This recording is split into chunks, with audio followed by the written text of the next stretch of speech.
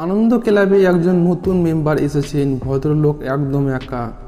Golf গ্রিনের একটা ছোট্ট ফ্ল্যাটের মালিক তিনি। আনন্দ ক্লাবটা একটু দূরে, তবে গল্ফ গ্রিনের বাসিন্দাদের মধ্যে অনেকেই এই ক্লাবের মেম্বার সুতরাং সেই সূত্রে এই ভদ্রলোকেরাও মেম্বার হওয়া কোনো বাধা ছিল না, তবে ভদ্রলোক যেন কেমন ধরনের রোজ একটু রাত করে আসেন আর চুপচাপ বসে থাকেন ক্লাবে কেউ তাস খেলছে, কেউ ক্যারাম খেলছে কেউ টেবিল টেনিস খেলছে অথবা লোনে চলছে ব্যাডমিন্টন। ভদ্রলোক চুপচাপ বসে সব লক্ষ্য করেন, কিন্তু কোনো কিছুতে তাতে অংশ নিতে দেখা যায় না। কেমন যেন রহস্যময় মানুষটা দু একজন এসেছে আলাপ করেন জমেনি, তারা সরে গেছে। সবচেয়ে অদ্ভুত ব্যাপার নাম জিজ্ঞেস করলে বলেন, আমি চৌধুরী। কেউ হয়তো প্রশ্ন করে, চৌধুরী তো পদ্মবী, নামটা কি? ভদ্রলোক বারবার একই উত্তর দেন, নাম দিয়ে কি হবে? পদ্মবীটা তুই আসল। সুতরাং ক্লাবের সদস্য প্রথম মিক চৌধুরী বলতেন, তার তাকে তিনি হয়ে যান চৌধুরী সাহেব। চৌধুরী সাহেব ভাব ভাব যেমন অদ্ভুত, তেমন তার পোশাক আশাক, বারামাসি সাদা টোলা, পাঞ্জাবি আর সাদা পাজমা। তিনি কোথা থেকে এসেছেন, কি করতেন সে ব্যাপারে কেউ জানতে পারে না। তবে তিনি যে প্রচুর টাকার মালিক, সে বিষয়ে কারও সন্দেহ নেই। কিন্তু মানুষের কৌতূহল সহজ মেটে না। চৌধুরী সাহেব, গাড়ি আছে, ড্রাইভার আছে, তবে গাড়ি আর ড্রাইভার কোথা থেকে কেউ জানে না। রোজ রাত দশটা নাগাদ কালো কাজ তোলা গাড়ি আসে আর তাকে নিয়ে যায়। ঠিক এক ঘণ্টা পরে ফিরে আসেন তিনি। কোথাও যান, কি করেন জাতীয় প্রশ্ন করলেন। শুধু হেসে এড়িয়ে যান। প্রতি বছর ক্লাব থেকে দলবল নিয়ে কোথাও না কোথাও যাওয়া হয়। এবারও মিটিংয়ে ঠিক হলো। মুকুটমণিপুর যাওয়া হবে। সবাই রাজি। পাঁচ দিনের মধ্যে এই ট্যুরে কিন্তু মহিলারা থাকছেন না। কারণ ঠিক হয়েছে, এরা সকলেই উঠবেন সাঁওতাল মুম্পি সর্দারের বাড়িতে। পূর্ণিমার রাতে মুরগিল হবে, নাচ হবে, মেয়েদের নিয়ে সেখানে যাওয়া সম্ভব নয়। সুতরাং একটু নতুন স্বাদ পাওয়ার জন্য এক কথায় পুরুষরা রাজি। অবশ্যই তাদের স্ত্রীদেরও যাওয়ার ইচ্ছে ছিল, কিন্তু পরে তারা ভেবে দেখছিলেন সাঁওতালের মধ্যে তাদের থাকা মানে সকলকে অসুবিধার মধ্যে ফেলা। যাবার প্রস্তাবে কিন্তু চৌধুরী সাহেব আগে হাত তুলেছেন, অবাক লেগেছিল সদস্যদের। একজন তো এগিয়ে এসে বলে ফেললেন, আপনি যেন যাবেন, এটা আমার ভাবতেই পারিনি। চৌধুরী সাহেব বললেন, কেন বলুন তো? আসলে আপনি তো রোজ দেখি চুপচাপ একা একা বসে থাকেন। তাই চৌধুরী সাহেব চোখ দুটো অস্বাভাবিক উজ্জ্বল হয়ে উঠল। বললেন, একা কোথায়? চতুর্দিকে আপনারা তো আছেন, নিজে কিছু করা থেকে দেখায় আমার আনন্দ বেশি। সবাই মেনে নিল, কেননা পৃথিবীর সব মানুষ তো একরকম নয়, চৌধুরী সাহেব না হয় একটু অন্য ধরনের মানুষ। প্রায় পনেরো জনের একটা দল তৈরি হলো, অনুপ দত্তই আসল উদ্যোক্ত। তারা অফিসের দরবানিদের সুবাদে এই ব্যবস্থা হয়েছে। এবার কিন্তু খুব বেশি লোক হলো না। আসলে এক শীতকাল আর তারপর আবার সেই শীতে কোনো হোটেলে নয়, থাকতে হবে কিনা মাটির বাড়িতে।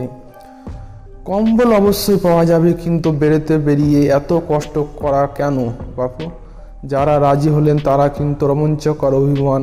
মনে করে উৎসাহিত হয়ে যেতে চাইলেন। শেষ পর্যন্ত দশজন যাবেন বলে ঠিক হলো। দশজন প্রায় একই বয়সের, এই চল্লিশ পঞ্চাশের মধ্যে।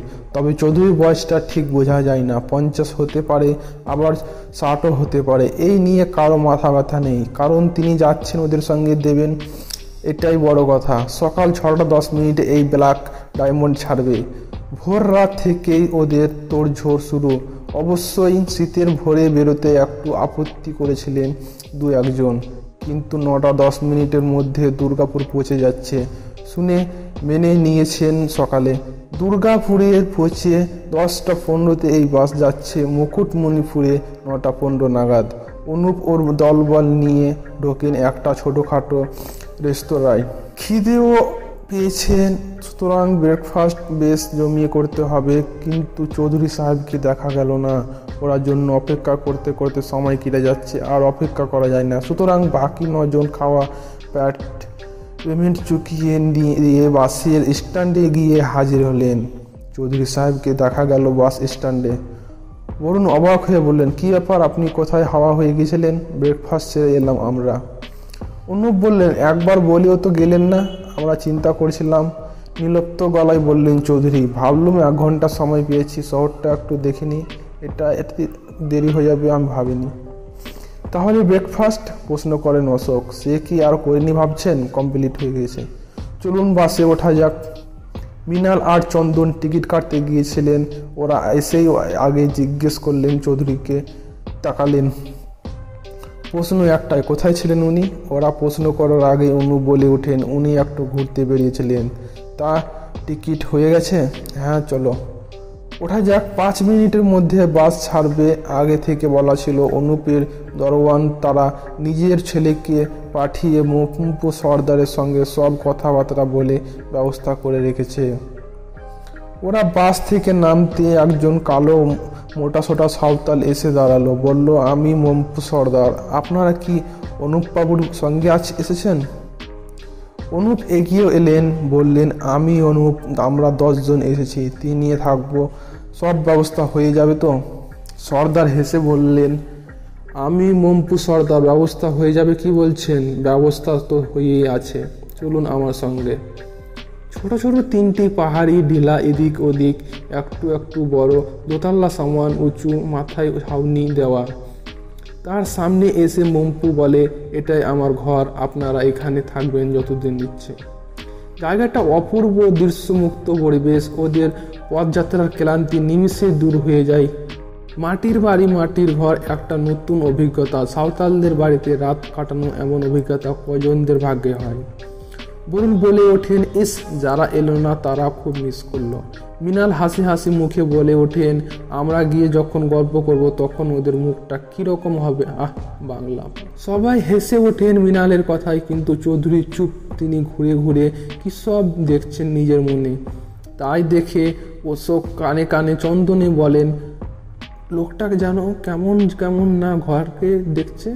অশোক মাথা নাড়েন ঠিক বলেছিস, বাড়ির নিচের তলায় একটা বড় ঘর, তার পাশে একটা ছোট ঘর। দোতলায় দরমান, জানলা দেওয়া, বেশ বড় একটা ঘর, মেঝুতে মোটা চাটাই পাতা।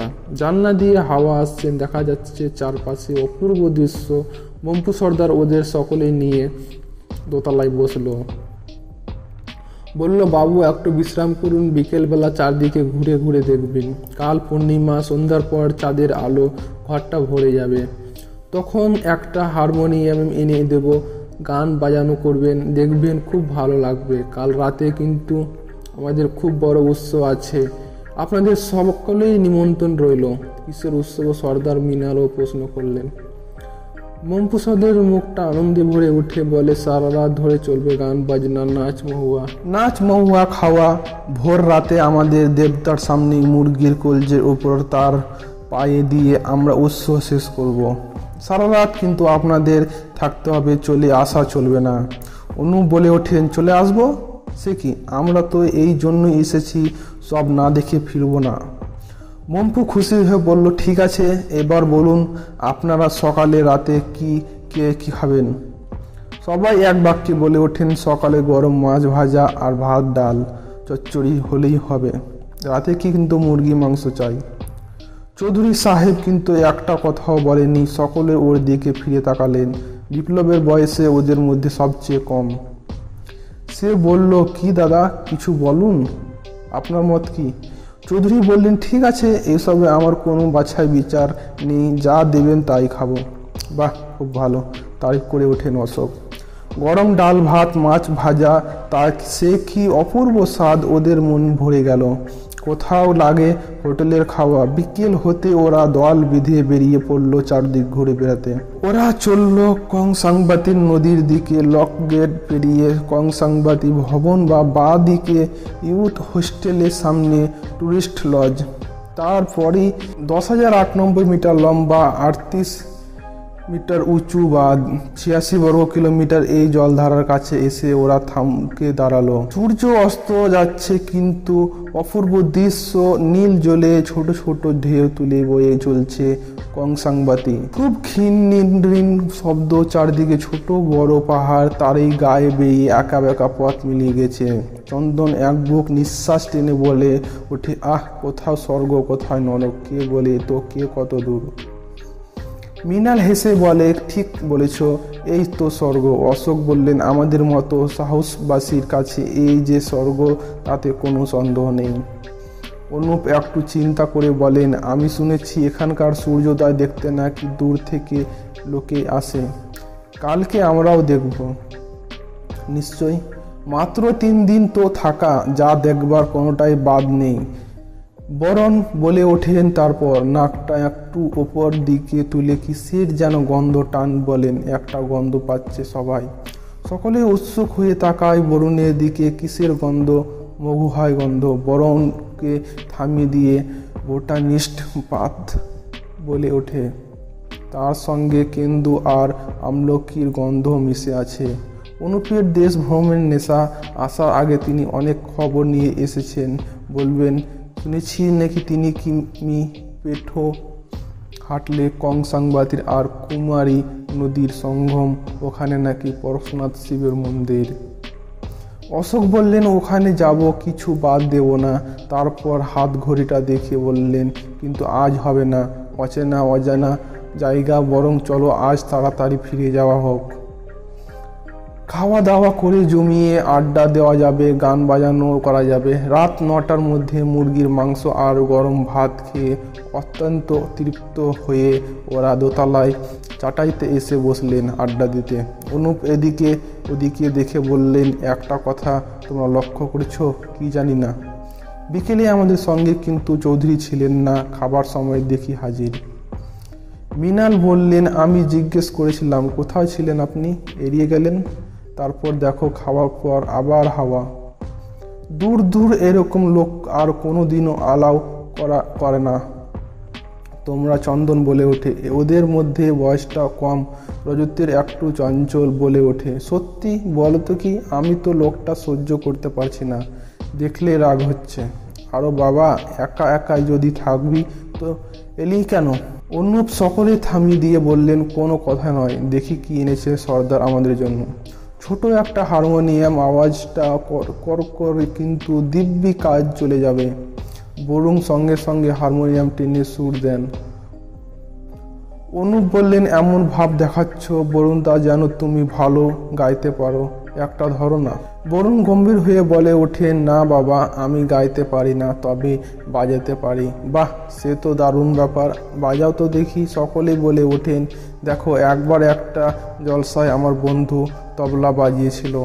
আমাকে বলেছিল, দূরে রিড চেপে ধরে একসঙ্গে বাজাতে। আমি প্রশ্ন করেছিলাম, এই দুটো রিডকে কি বলে? ও বলেছিল, একটা সা, অন্যটা পা। তোকে আমি দেখিয়ে দিচ্ছি। ওই সা।